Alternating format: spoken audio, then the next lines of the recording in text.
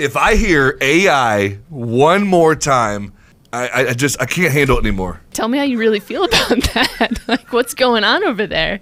I mean, there's one thing with buzzwords, but these two buzz letters, AI, is driving me bonkers. I, I feel like we got to talk about this. Like, I really do feel like we do too. I mean, can we spend like a month on this? let's go, baby. All of January, nothing but AI. Okay, let's do it. Challenge accepted. Done. Welcome to the VIP podcast. Season three. Let's go.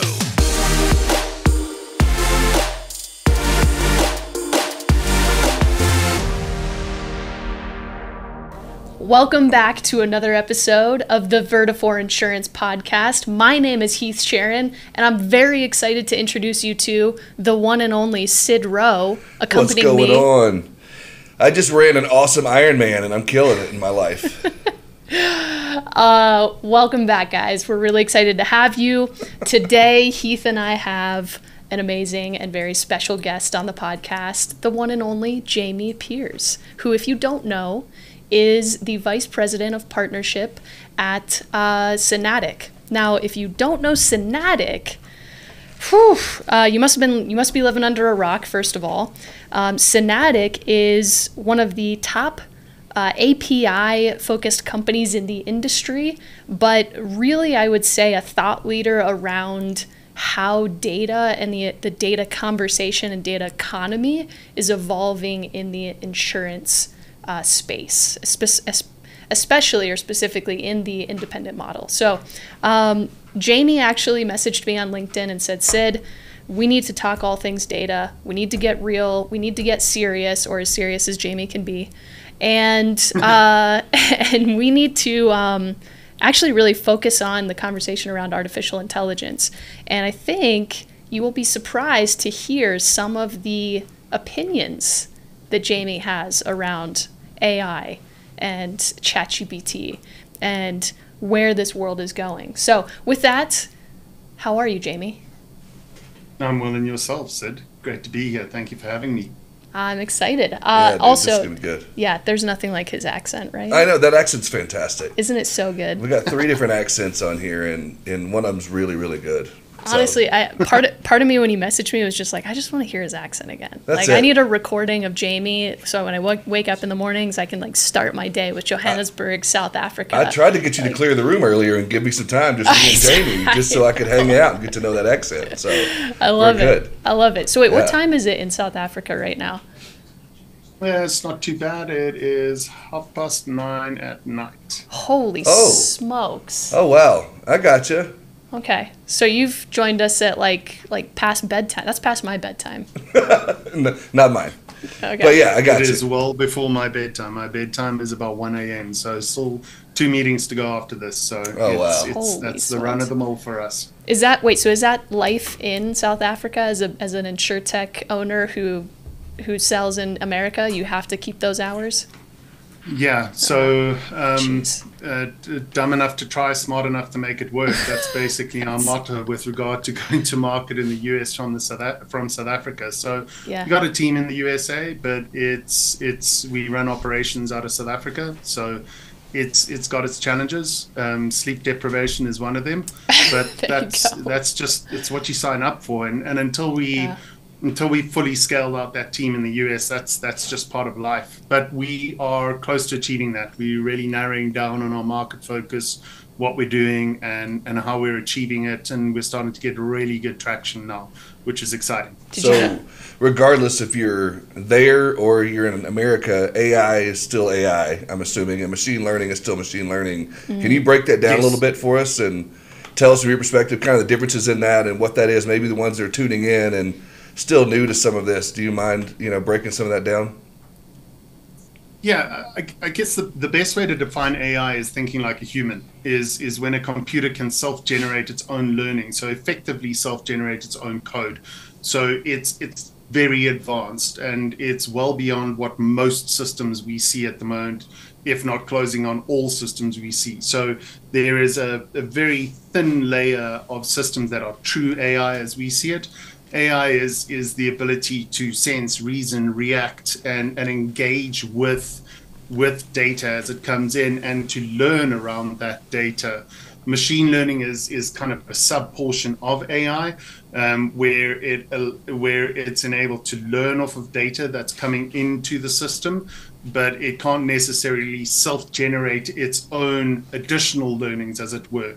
So um, I, I, think what's happened in the market is AI has become almost synonymous with anything that makes systems work together, and that's a little bit a little bit not what it well it's a lot of it not what it is. Mm-hmm. So AI is a very advanced piece of technology that can truly go into reproducing what a human is, and that's actually quite challenging when you when when you actually stop and think about that that's quite a big leap away from where most systems are at the moment. Yeah. So, how many people do you feel like understand AI, or it's just like a buzzword they want to throw out to sound cool? It's totally a buzzword, man. like it's it's it's um, it's PowerPoint's BS and uh, a different thing to put after the dot in your in your web address. So, um, for the most part, like let's just use that as a statement. So, you, you know, it, it's a difficult thing to to understand but if you look at if you look at the well it's not a difficult thing. Uh, it's just where humans are at the moment. If you look at humanity per se we're pretty much a fad society. So things become a fad and things become cool to talk about. And then if you don't talk about it you're almost seen as a pariah and you're an outsider and you're not cool. You're not on the inside circle. And the, the problem with that is it gives rise to these buzzwords. So we've had iterations of AI for 20 years now. You know, big data was a big one like 10 years ago. No one puts big data onto their PowerPoints anymore today, mm. just because it's it's not a fad anymore. It's not cool anymore. Right. If you're talking big data, you're talking 10 years ago. So is there a pragmatic move towards AI? Absolutely. Is there a real, tangible coming of AI? And mm-hmm. is is it is it is it going to impact humanity? Yes, absolutely. ChatGPT is a classic example of that. But it's it's almost like people have latched onto ChatGPT, and and it's because it's become something that the consumer can understand. It's created this fear mongering of oh my god, it's going to take everything away, and and mm-hmm. that's that's gone too far at the moment. So it, it is a lot of like PowerPoint, you know, just cool words that we can put up there to make ourselves look smart. Mm-hmm. Okay, so let me let me give a quick example though. Get in there. Because because these are Get fighting these are fighting words, Jamie. To say that AI, I mean, so you're talking to two marketers, especially like fads are our oxygen. It's a thing. Right. Yep. So okay, so here's the thing though. So I got I have to play the devil's advocate. Okay, I'll do the other side. Just okay. be fun. Okay. All right. All right. So I have a friend who's a lawyer. Um, we were talking the other day, and he told me about uh, a story that had sort of circulated in the legal field. There's a, a, a lawyer who ran his own shop and was taking a lot of cases around uh, flights that had been canceled and I think people were trying to like get their money back or there's something going on with like litigation around flights being canceled or people not being able to get on flights, right? And so uh, so he he goes to so he's marketing and, and taking in all these cases, right? So he goes to ChatGPT from an efficiency standpoint and says, "Hey, ChatGPT, uh, you know, I need you to look up cases essentially around this situation, right? Give give me because with with legal you have to look at precedent, right? You got to look back and say, okay, well, what was precedent, and then I'm going to kind of make my argument based off of that. So he the ChatGPT surfaces three cases, and and I mean from you know the case number to the case title to the case description looks completely legit. he takes and then cites a you know some some quotes from within the case. So he takes these three cases and he puts together his argument, his, his summary judgment, and then he sends it off to, to the courts, right? And so uh, the lawyers on the the airline lawyers go and look up these cases and they can't find them anywhere. They're completely fake. Like, and so yep. the, the crazy part about that story to me was that I think it showed very clearly that, you know, ChatGPT isn't out there just reconstructing parts of you know, it didn't go it didn't go out and just find cases and then like copy and paste them and put them into the screen that he was looking at and say, "Here you go. We resurfaced, you know, parts of something else and made it a new whole." It literally went and created something that didn't exist. And by the way, that guy didn't even want it to do that. Right? He wanted it to go and copy and paste. And instead it was like, "You know what? We're going to give you a little more than that. We're going to level things up. We're going to create something that doesn't exist." Is that just like I don't know, it's just it's kind of scary. It blows It my mind a little bit. Um, So, so therein lies the rub is when you get into the detail of AI. So Yeah. if, if you look, uh, one, one of the things that AI is supposed to be able to do is reason like a human. And that has not reasoned like a human because you didn't tell it to. So I still think that ChatGPT does just put a, pre, a precursor out there. I still think that ChatGPT does fall into the AI, into the AI bracket, the true AI bracket. But the reality, though, is that there are instances where ChatGPT is is an out and out failure. So, and that's a that's a very real example. And there's a litany of them. There's there's um, people who have asked ChatGPT to optimize their code. Um, and that's got two problems. First of all, you've effectively uploaded your code into a public property um, Mm-hmm. store of data. So now all of a sudden you don't mm-hmm. own, own your code anymore. Mm-hmm. Second of all, who's now responsible for actually checking that code and checking that it is valid and that it works? It still falls back to a human. So it is it is a progression of AI and it is AI is coming. So there are things that are AI and are coming. Mm. But even there, the reason but of a human's logic is lacking a little bit and uh, or a lot in as one may argue so you look at that and that's a great example of where ai doesn't necessarily fit and you can't just bang everything at ai and that that's part of the frustration in the market at the moment right is that no disrespect but marketers do that they they Absolutely. throw throw a web web address.ai and then claim AI throughout the website and everyone mm-hmm. eats it up and it's like yeah but is there is mm-hmm. it really there? And mm-hmm. the challenge is like it's difficult for people to educate themselves because how do they go and read up about that information? How do they actually understand the intricacies of it? And and that is it's it's a challenge. Well, Yeah. even when you talk Chat GPT, you can even prompt it wrong though at this point in time, if you don't have the right prompts in hmm. there. If you don't say the right things, it can give you mm-hmm. things. And I've gotten in situations where they don't have data beyond or ahead of 2021 or something to that effect, and so mm-hmm. there's still some things within that that can cause some challenges there and alone in itself. Because again, just the prompts alone can get some crazy answers. You and I could be looking for the same thing and prompt it two different ways and get totally different data. Totally. I mean, you look at a very topical discussion of like, is should Do- uh, should Donald Trump be the next president of the USA? Like, you're going to get some significantly different answers because there's significantly different pools of data around that. Which one is right? How do, how do I how do I prompt that right? And if I am prompting it, I'm using my own reason in it again. So so it's not to bring politics into it. That's the last time I'll mention politics, but it's an example of how how differing opinions can create very differing answers and and information if you don't guide it to what you want it to be. Oh, I thought we were going to go into church next. You got into politics already. I thought.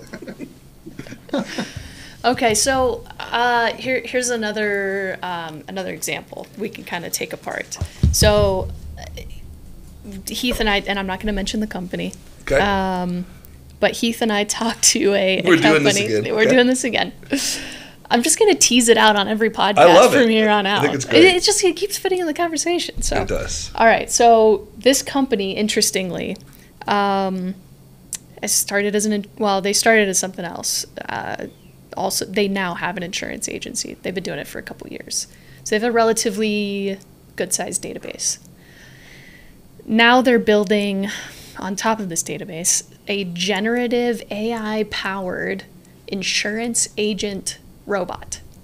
Now, when you when I first heard that, I thought, "Holy smokes, they're going to come into this industry and try and, you know, replace the agent, replace the producer, replace the service person, right?" And it and it became very clear within about 5 or 10 minutes of talking to them that that is not the direction that they wanted to take. They're they're seeing this thing as something that can assist with some of the more mundane activities that a service or salesperson might have to do on a in a day's or week's work. But the problem that they're running into is that with a virtual assistant, which is what a lot of agencies now use to do some of that more, you know, sort of monotonous work, you can have a virtual assistant go and get licensed. And so they can do some of that service activity that requires that, you know, regulatory check. Um, this computer program technically can't do some of that activity today. So what they're doing is they're they're educating it right now for the next couple months and by Q1 of next year they're hoping that it'll be in a place it'll be smart enough intelligent enough whatever that they can put it through the insurance exam and get it licensed so now Yep. it can sort of be that right hand for for a service person or for a salesperson um, I don't know. I mean, like, part of me, I'm like, that's kind of scary. Part of me, I'm like, yeah, it's kind of cool. But either way, that's a, I, it feels like a huge difference in the, it feels like a little bit of a mover shaker in the industry. Like, It Does it feel like a disruptor, but also going back to the previous conversations I've had about it is, I still think you can replace the relationship aspect with that, even with the robot. I just don't think you can. And I'd love to hear your thoughts on that, Jamie. As she just laid that out for you, whether it's the first time you've heard it or not. You know, uh, so uh, I was at the Keystone conference doing a, a talk on stage two weeks ago, and and I get I get I'm an excitable person, so like I went from sitting back and kind of having a chat, and like actually like took a seat on the edge of my perch, and I was like leaning into, it and literally physically leaning into, it and going like, you need to understand, like if anything, COVID taught us. Humans need humans. It- Amen. it is what we are built to do. We are built to interact. We are built to to see each other, to read body language, to engage with each other. It's it is it is a carnal need of ours. And nothing of that changes when you get to um, when you get to insurance. I want to be able to call somebody and say, um, you know, XYZ has just happened with my car. I've just been in a car Yeah. accident and I almost died. And I want you to be part psychologist, part insurance agent. Mm. Like that is real. It happens Well, to people. yeah, If you bring it up, it's- them to a bot. It's three fourths psychologist and the other part agent most of the time, which goes back to your point. Yeah, totally. I, I, it, entirely because you're protecting my assets. right. Like you Right. are literally my relationship with you is me Yep. trusting you to protect my assets. I am effectively trusting you with my worldly possessions. Like mm. that is what I'm doing when I insure through an agent, so or or broker. So if I don't have a relationship there and I'm dealing with a bot, sure, everyone from the tech side is saying, but it's more efficient too. And the humanity aspect of that comes in and says, I don't give a crap about your efficiency.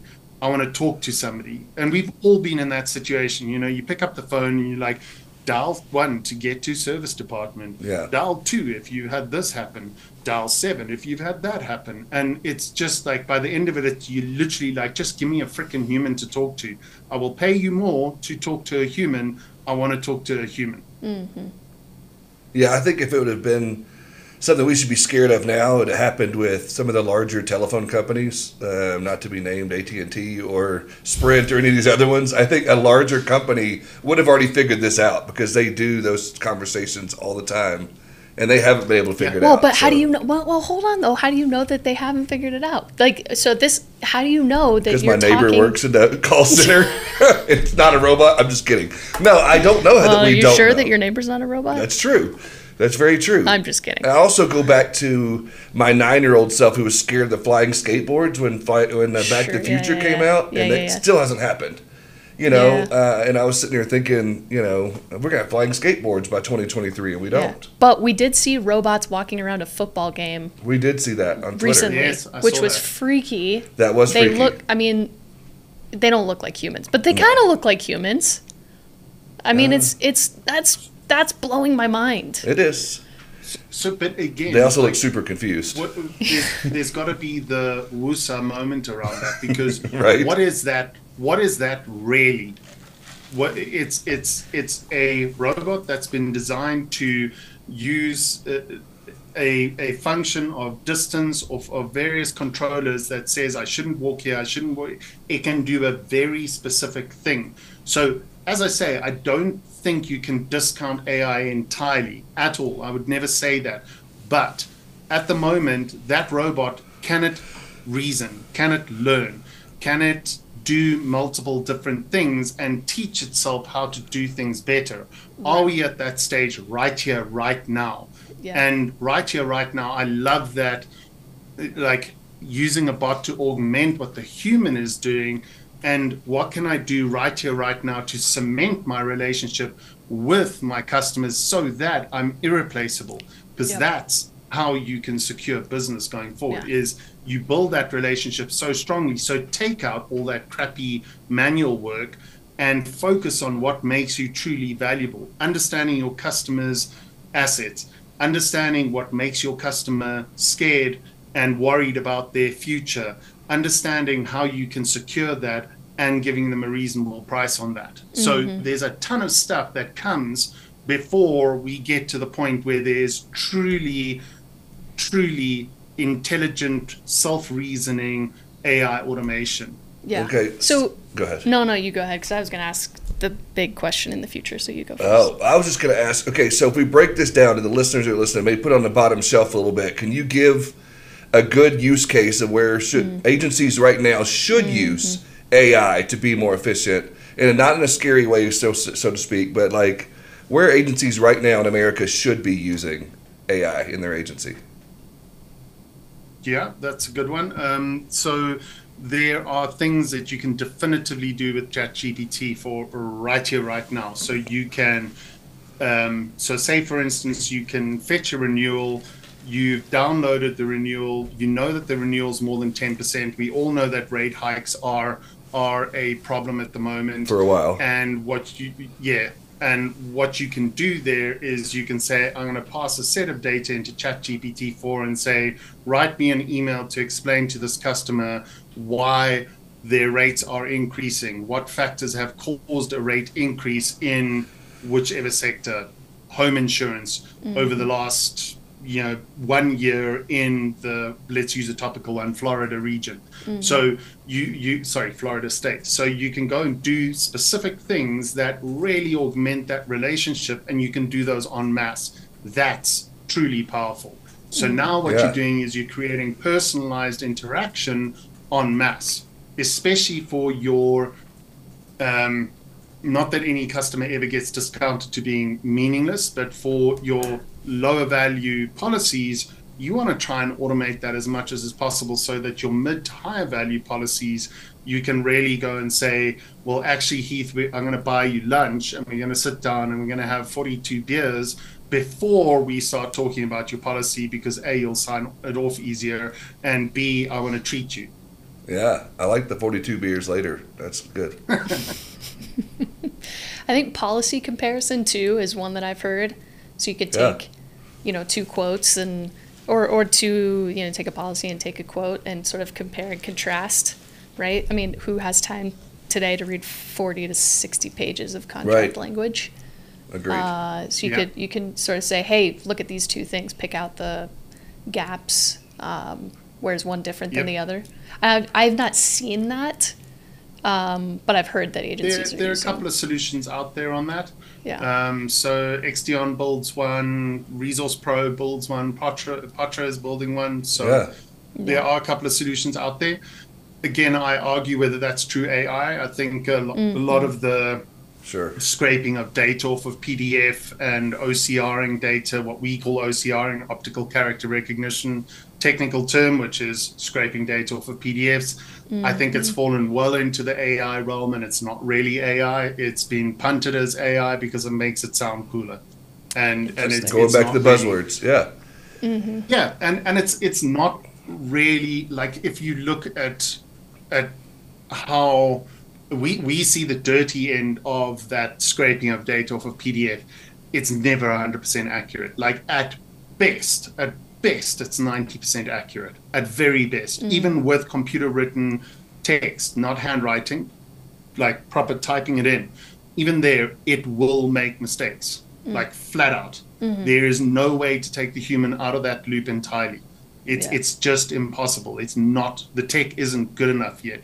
Yeah. So, I, I again I look at that and I, like absolutely policy checking it, it sucks. It's a horrible process, necessary, but it still sucks. But the the truth of it is is like is that really AI? Yeah.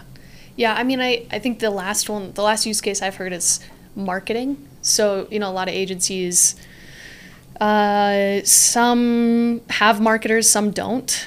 Um, and for those that don't, uh, honestly, for those that do too, I think they're using ChatGPT to create marketing copy, uh, Blog blogs, posts, yeah. yeah, things they can put on their, their website. So you know that's that's sort of another area. And that you can I've- create like videos with stock images and stock videos and the whole nine Yeah. yards Yeah. some of that. And I've seen some of that as Yeah, a good yeah. use case. Yeah. Is there any that make you scratch your head and like why? Like any of those on the opposite side of that? No, Okay. there's more the ones that make me scratch my head and say, "Is that real?" I, like because I look at it and I, get- I technically go Okay. like, "Yeah, it, it just doesn't fly," you know. Mm-hmm. And and the more we've looked at it, the more and we look at this technically every single day. We talk about building AI stuff into our solution. So like mm-hmm. we built in a, we've we've found a a long story short, a database that has addresses in it and how we can corroborate is this a valid address or isn't a isn't it a valid address? So just a surface level, like is this a valid address? Not is this Heath's address? Is this a valid address? Mm-hmm. And and even there, like we found some AI stuff we've done there, and it, and it's pretty cool stuff, but it's it's still borderline. It's it, it's it, is it really self-generating logic, and that's the key thing to testify: is this truly self-generating logic,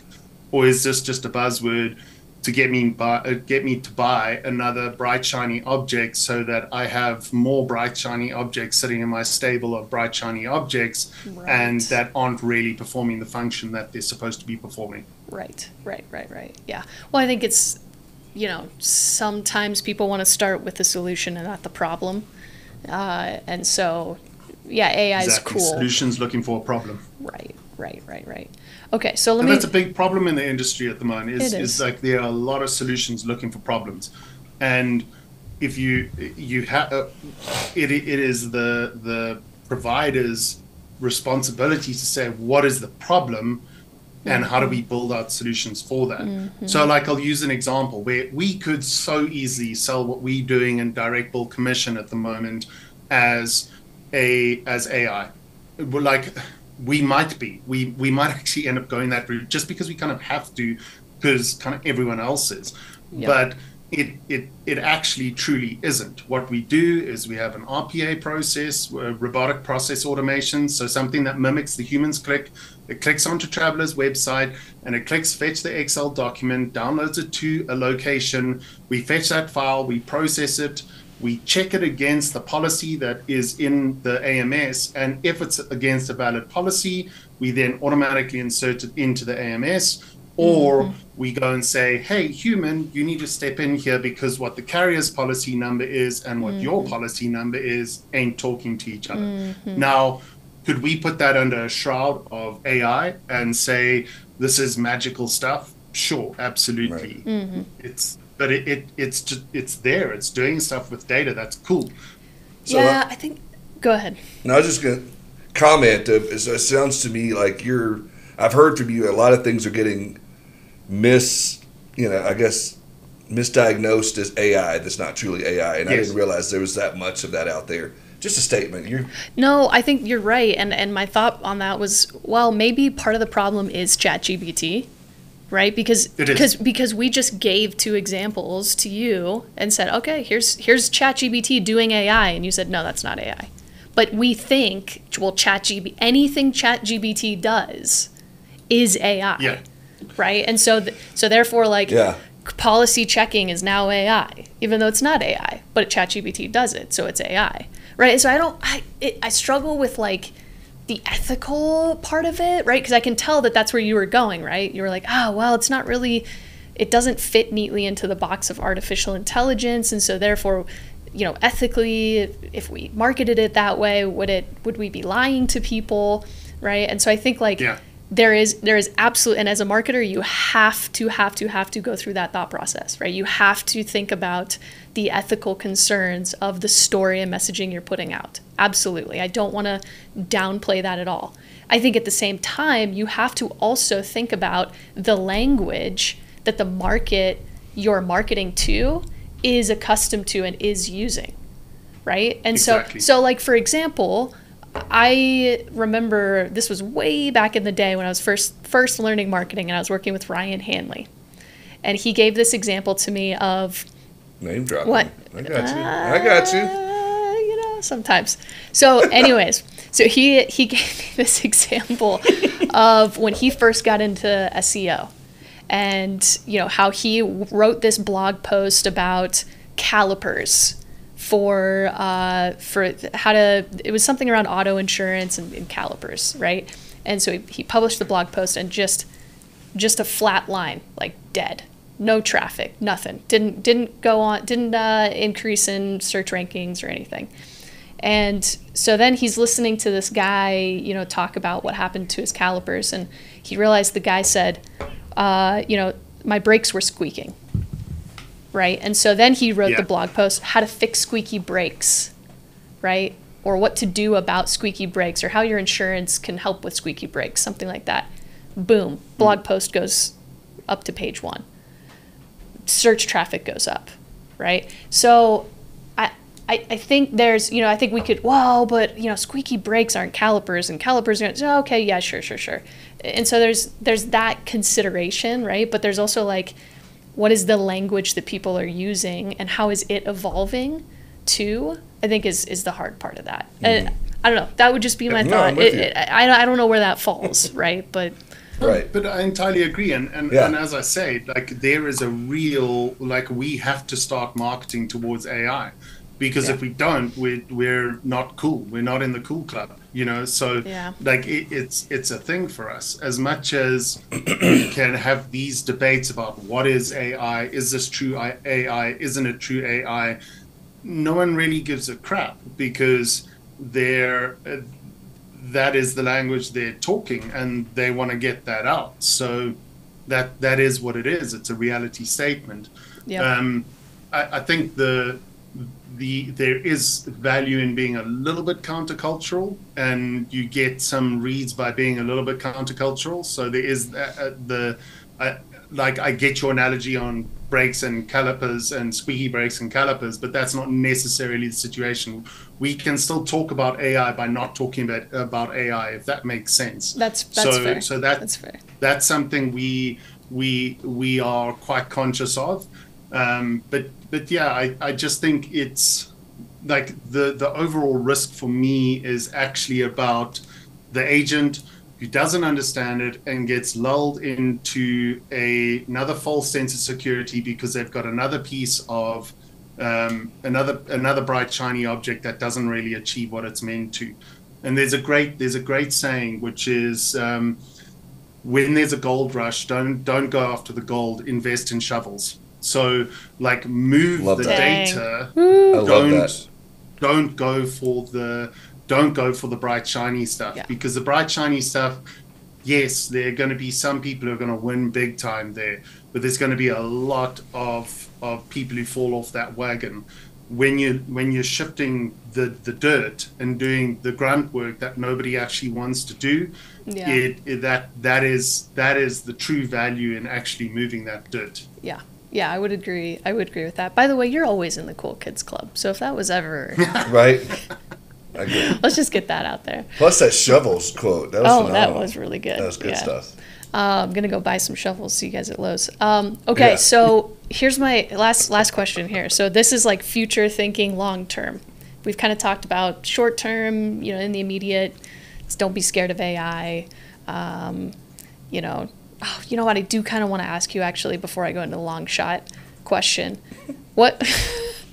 Sidetracking myself here. Squirrel moment It's here. it, it is because it's, It's such a crazy topic. So what about though short term, um, the the the uh, d- dangers in terms of like security concerns, right? So like I, I've heard stories of you know, for example, somebody calls up somebody's grandma, and the grandma's voice is recorded, and then they put the voice through an AI machine and say, okay, you know, AI machine, Yeah. make grandma say this, and then so then grandma calls you know daughter and is like i'm being held hostage and i need $10000 or something like that right um, Yeah.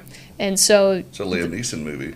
right yeah oh, right yeah so No, that stuff's real, hey. That stuff's happened, hey. yeah For real. Well, I mean, like that's that's not a that's not a uh, folklore. That that that exact example has actually happened. yeah crazy. and so you know i think there's like well you know maybe we move to a world where families have passcodes or safe words or something like that right so it's like grandma what's the safe word and if she doesn't say it it's like okay Yeah. Um, so, but That's- how? Yeah, what, what? I mean, short term, that stuff's happening today. So, and it is using AI. Um, that seems to be something we should fear and consider dangerous. yeah. What about I, I would totally agree. I think there's a whole.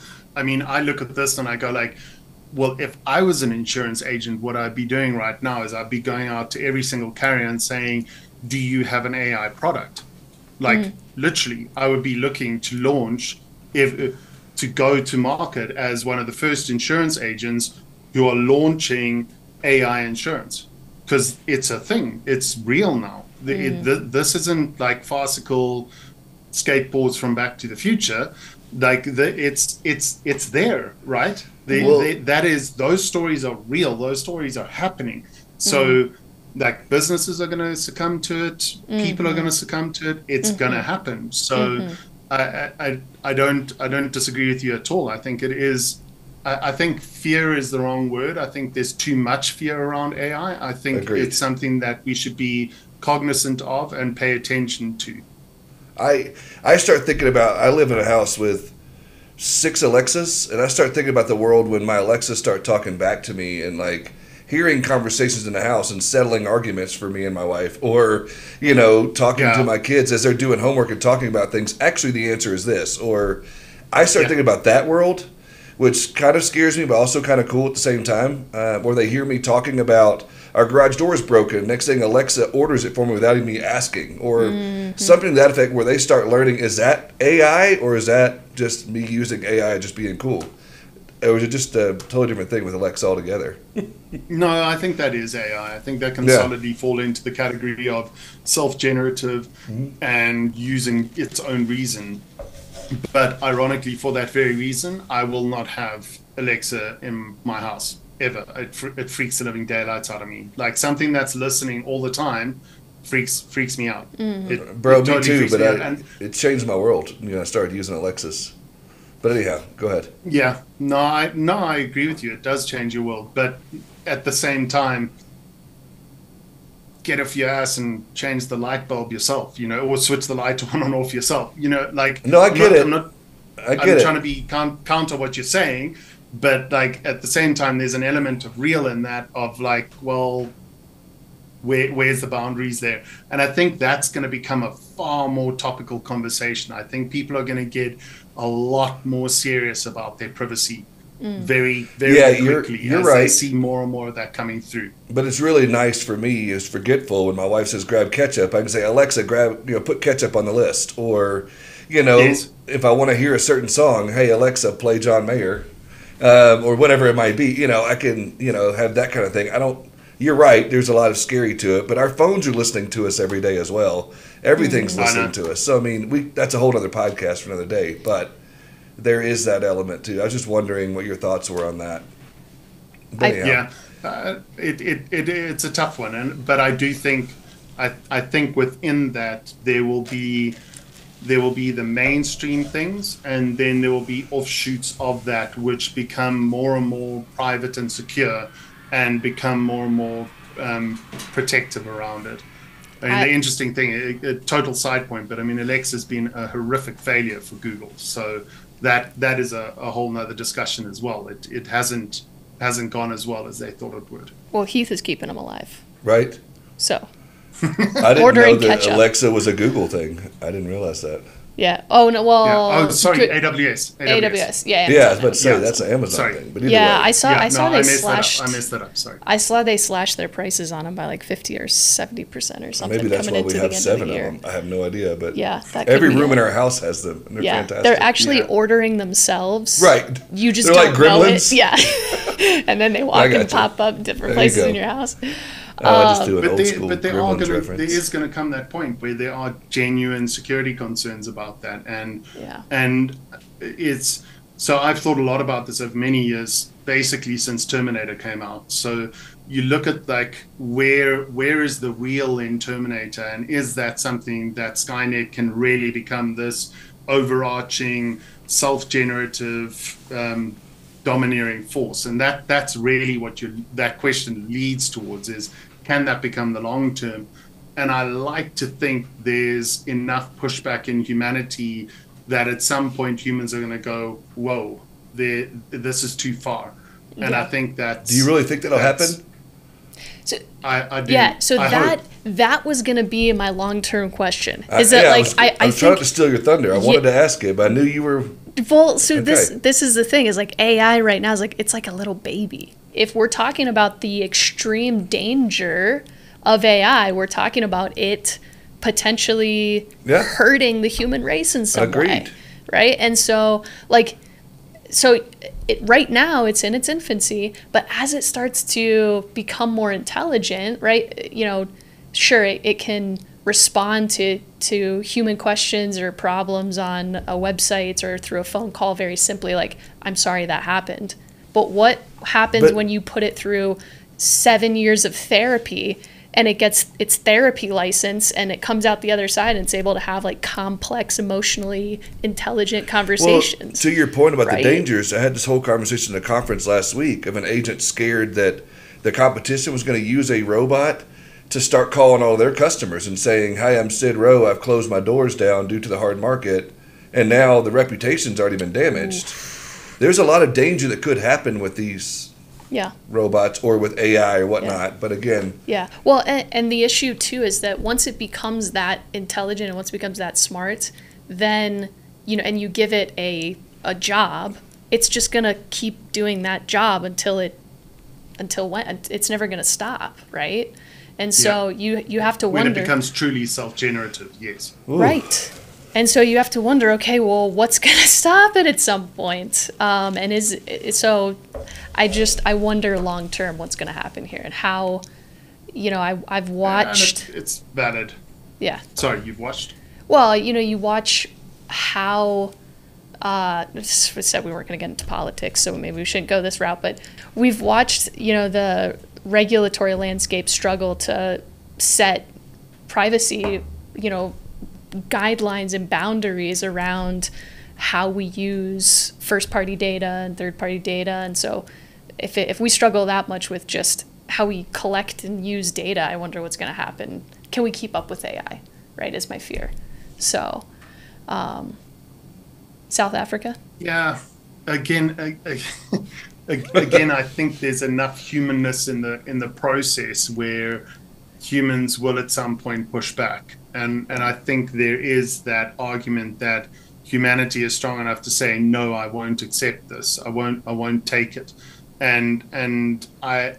I prefer to err on the side of optimism there and believe that humanity will say at some point this is too far. And I mean, it's already uh, like it's just with the release of ChatGPT 4, well, ChatGPT per se, there are board members who've exited ChatGPT and said, You don't understand what you've started here. There are board members who said to the government, You have to start looking at controls on this because this can grow legs to such a degree that it can become that humanitarian risk, as it were. So, there are already those voices who are saying this is going too far, and we're, as you say, in the infancy. So, I, I think it's about finding the edges and finding what we can and can't do. Italian government blocked using ChatGPT. They said Interesting. that's it. and the Interesting. school, a lot of May school not. systems are doing that now too. My Yeah. kid's school is uh, outlawed. Yeah. Outlawed is that the way it sounds like Wild Wild West? But has said they can't do it. But I wonder, you know, how much further it can go. Uh, to your point, that the legs it can grow. So Yeah. would that it becomes an education issue at that point? Is there a lot of people that are just ignorant to it that are using it in the wrong way, or can we find some way to educate the masses on what true AI is and what ChatGPT can and cannot do?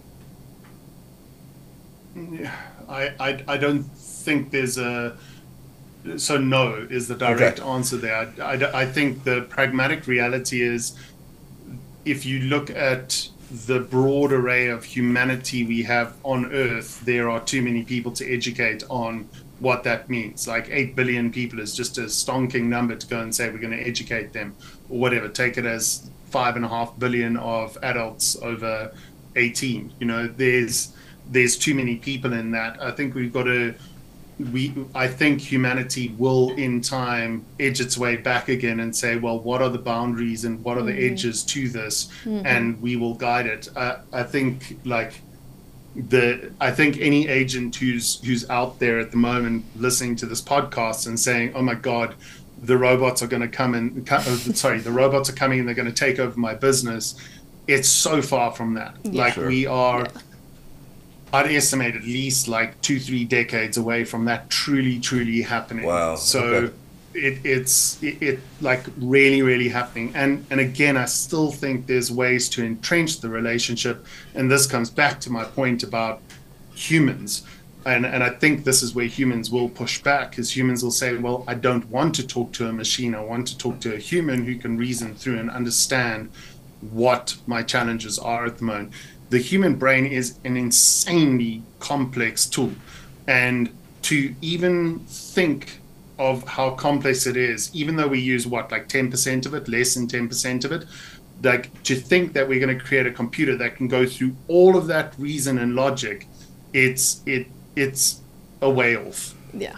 Yeah. Okay. All right. Well, thank you for putting our fears around Yeah. AI to bed. We appreciate you. For those of you guys listening, if you don't follow Jamie on LinkedIn, I would strongly recommend it. Um, he is somebody who um, I, I definitely would say challenges the industry and just somebody you should have in your circle if you don't have them in your circle yet. So uh, if you want to check out Synatic, uh, you know, they are honestly one of the top companies to look at if you are looking at or trying to find someone to help with connectivity issues between software. Um, you know, Jamie, I mean, you could probably do a better pitch than I could here, but making sure that you're really weaponizing your data um, and and getting the maximum value out of it, I would say. Um, so reach out if you if you need anything from the Synatic team. And Jamie, thank you again from for joining us from Yeah. South Africa at 9 p.m. at night. Thank you so much. Now it's almost 10, it's got to be 10 p.m. now. Yeah, That's quarter good. past ten. There you go. All It's right. not too bad. All right. Well, good luck on the the next two calls. Cool. Thanks, Sid. Well, that was a great episode. Amazing. It was an amazing episode. I really enjoyed that content. Guys, if you enjoyed that content and you want more of it, make sure you hit the subscribe button. Nah, dude. You got to tell them to crush it. Crush that subscribe button, guys. All right, whether you want to crush it, smash it, hit it, Bop it. sure, we could bop it. Either way, guys, we don't want you to miss another episode. We enjoy spending time with you, the VIP. Yeah. We'll see you next week.